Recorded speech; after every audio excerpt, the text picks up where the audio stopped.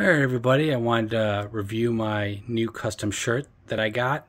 Obviously, this is the Ninja Turtles, but as monster characters. So the first one we have is Leonardo as the Wolfman, Raphael as a mummy, or the mummy. We got Donatello as Dracula, and then we have Michelangelo as Frankenstein.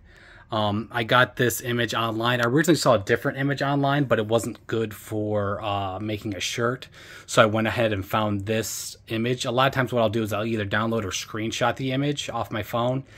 And then, uh, depending on the picture, I'll remaster the picture with my phone. Usually, um, it looks better remastered, but sometimes it doesn't, depending on what kind of picture you do. And I go to Amazon and I can have these images downloaded onto a shirt and have made. It usually takes about a week. It is shipping does cost like four, three, four bucks because um, it is not Prime. So you do it is coming through a business in California, I believe the San Diego area, or either LA or San Diego area. But um, you can get any of these images you want.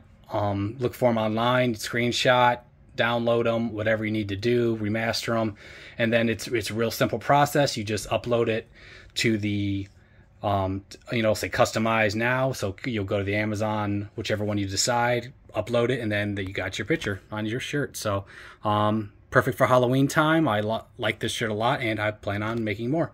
So um, until next time.